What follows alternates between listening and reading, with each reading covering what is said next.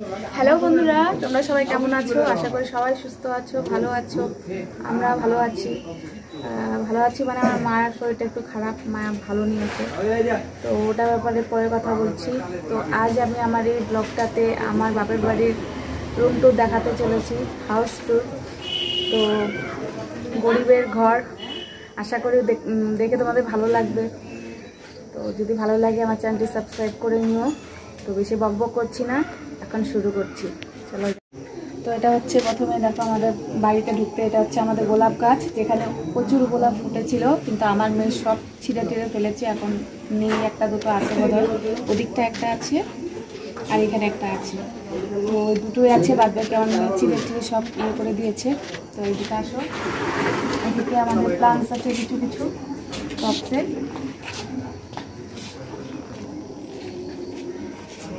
এদিকেও আছে তুলসী পাতা গাছ, গাঁদা ফুল গাছ। ফুল এখনও ফোটা সেরকম ধরেনি, এক দুটোই ফোটে ফুল। তো ফোটা ধরলে একদম ভরে যায় ফুলে ফুল।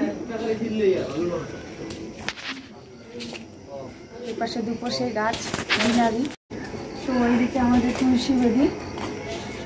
আর ও পাশে লঙ্কা গাছ, আমার আগের ভিডিওতে দেখিয়েছিলাম ওই লঙ্কা গাছ। তো এটা হচ্ছে আমাদের বারান্দা। এটা হচ্ছে আমাদের বারান্দা। চলে আসো। তো বারান্দায় উঠতে এ পাশে দেখো, আবার প্লান্টস লাগিয়েছে আমার বোন কিছু। সব এখানে আছে জানি না, নাম বলতে পারব না কোনটা, কোন প্লান্টস আর এইসব যে দেখছ, এইসব এইগুলো ওগুলো আমার বোন বোতল কেটে আর প্লাস্টিকের কৌটো কেটে বানিয়েছে। প্লান্টসের জন্য। এগুলি সব বোতল আর প্লাস্টিকের কৌটো কেটে কেটে কালার করে বানিয়েছে ও। দেখতেও খুব ভালো লাগে। আর এদিকে জুতো রাখার জায়গা আছে একটা। তো এদিকটা চলে আসো। এদিকে সব টুনি লাইট লাগানো আছে। তো, এটা ঠাকুর বাড়লে তো এই পাশে আছে একটা ডাইনিং টেবিল এটার মধ্যে আমার বোন পড়ায়। পড়াতে বসে একটু সরিয়ে দিই। আর এটা হচ্ছে আমাদের ঠাকুর ঘর। চলে আসো। আমাদের ছোট্ট মোট্ট ঠাকুর ঘর।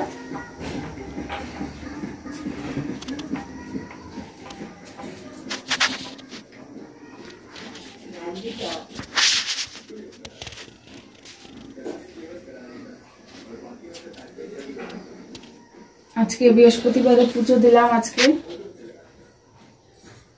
এখানে মা কালী আর শিব ঠাকুরের লিঙ্গ আছে। আর ওখানে বিপত্তারিণী ঠাকুর রাধা কৃষ্ণ লক্ষ্মী নারায়ণ এসবই আছে। দেখা যাচ্ছে না। আর অন্ধকারের জন্য কিছু দেখা যাচ্ছে না। মানে অন্ধকার লাগছে।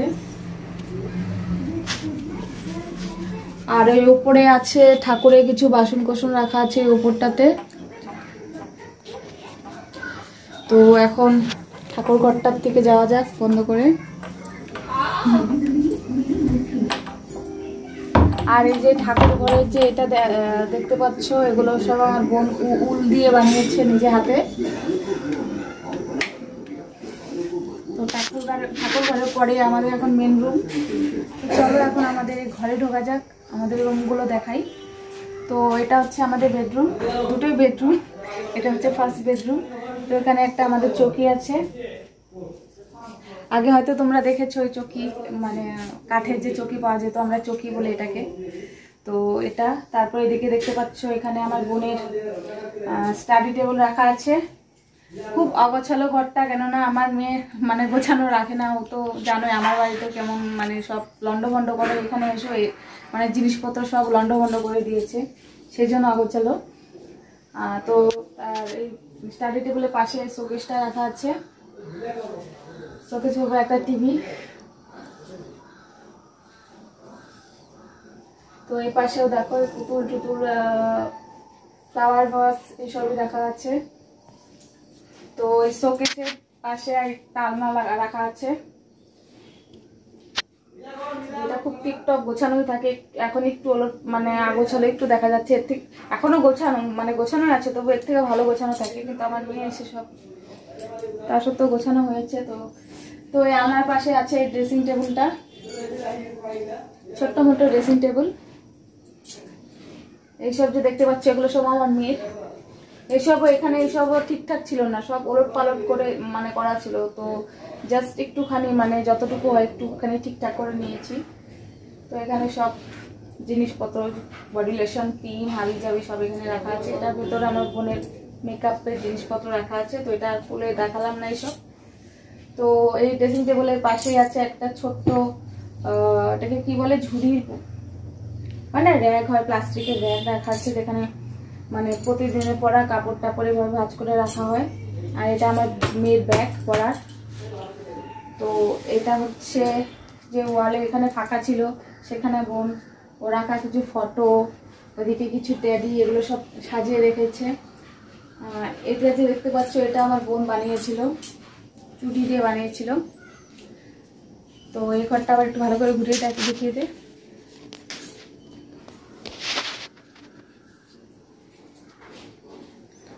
আর ওটা আমার মা বেডে বসে আছে।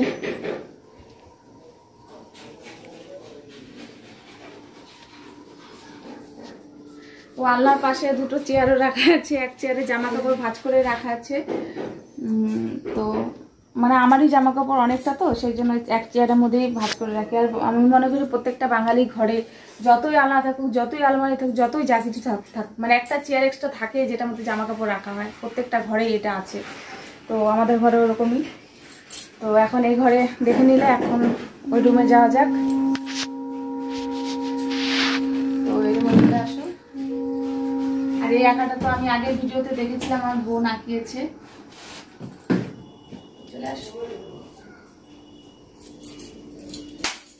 তো এই রুম একদম ছোট্ট মোট্ট রুম এই রুমে বেশি কিছু নেই। এই রুমে আমার বাবারই রুম মানে এই রুমে আমার বাবার সব মানে দোকানের জিনিসপত্র রাখা মানে দোকানে জামা কাপড় মালটাল রাখা আছে।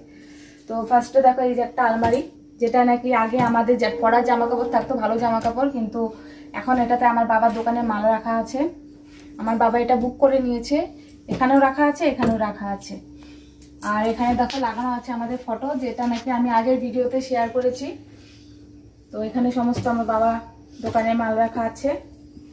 আর হচ্ছে এটা একটা চকি, যেখানে আপাতত মা আর বাবা ঘুমায়, কেননা আমি এসেছি। এখন আমি আর বোন, আমার মেয়ে ওই চকিতে ঘুমায়।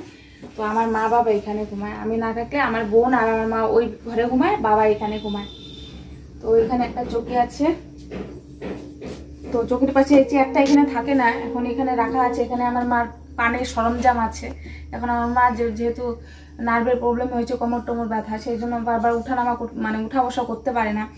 সেই জন্য মানে পানের ডাবরটা চেয়ারেই রেখে দেওয়া হয়েছিল। মা বেশিরভাগ এই থাকে। তো সেই জন্য চেয়ারটা এখানে আছে। তো এখানে আছে একটা টেবিল ফ্যান স্ট্যান্ড ফ্যান তো এই স্ট্যান্ড ফ্যানের পাশে দেখো, এখানে কিছু মানে প্লাস্টিকের ইয়ে রাখা আছে। এটাও আমার বাবার মাল, দোকানের মাল। আর এখানে একটা চেয়ার রাখা আছে। এখানে খালি সিলিন্ডার যেটা দুটো সিলিন্ডার একটা খালি থাকে মানে খালি ভরা যায় তো এখানে রেখে দেয়। আর এই রুমের সাথে আছে আমাদের রান্নাঘর। তো এই রান্নাঘরের পাশে, এদিকে আসো। তো এই পাশে এদিকে নিচে কিছু আমার বাবার মানে চার্জার ফার্জার চার্জ দেয়, এদিকে চালের দাম ঠামেগুলো একটু অগোছালো আছে। এদিকে সব মশলাপাতি, এদিকে সব জলের বোতল। আর উপরে এখানে ফিল্টার এই হাবি জাবি মিক্সার গ্রাইন্ডার এসবই রাখা আছে। এটা হচ্ছে বাসন টাসন রাখা আছে, নিচেও একটা বাসনের র্যাক আছে।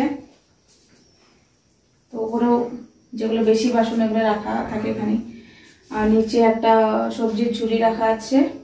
ব্যাস, আর নিচে কিছু রাখা নেই এমনি। আর উপরে শেল্ফ করে দেওয়া আছে, দেখো। তো আমি এর থেকে সরে যাই।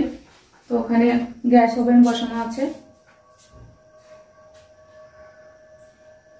আর উপরে যে প্লাস্টিকটা দেওয়া দেখছ, এটা আসলে রান্না করলে কালো হয়ে যায় তো মানে ওয়ালগুলো কালো হয়ে যাওয়ার জন্য ওটাকে পাপা এভাবে একটা মানে প্লাস্টিক লাগিয়ে রেখেছে। তো এই হচ্ছে আমাদের ছোট মোটো রান্নাঘর, গরিবের রান্নাঘর। তো এখানে কলপার, রান্নাঘরের সাথেই কলপার। ছোট্ট একটা কলপার, এখানে শুধু বাসন টাসন ধোয়া হয় জামা কাপড় এখানে ধোয়া হয় না জামা কাপড় বাথরুমে ধোয়া হয়। আর এটা হচ্ছে আমাদের বাথরুম তো বাথরুমটা খুলে দেখালাম না, কেননা বাথরুম দেখানোর মতো কিছু না বাথরুমটা সেই জন্য আর দেখালাম না। তো একবার দেখে নাও ভালো করে ঘুরে।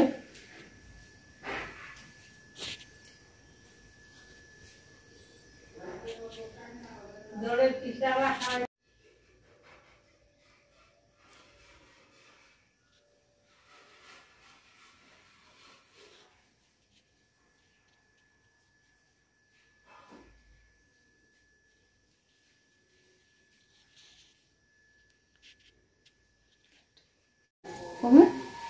তো বন্ধুরা, তোমরা দেখে নিলে আমার বাপের বাড়ি হোম ট্যুর তো যেমন আছে সেমনই তোমাদের সঙ্গে শেয়ার করলাম, ওটাই দেখালাম। আশা করি তোমাদের ভালো লেগেছে। যদি ভালো লাগে আমার চ্যানেলটি সাবস্ক্রাইব করে নিও, ভিডিওটি লাইক কমেন্ট করে দিও। তো আবার তোমাদের সঙ্গে দেখা হবে অন্য একটি ব্লগে তো আমি ব্লগটা এখানেই শেষ করছি। সবাই ভালো থেকো, সুস্থ থেকো।